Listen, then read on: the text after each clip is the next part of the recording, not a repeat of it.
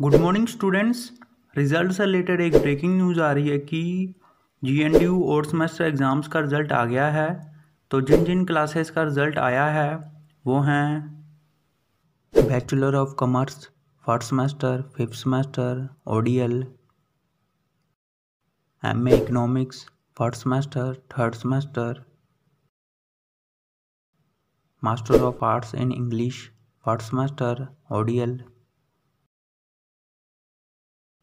L L B three year course fifth semester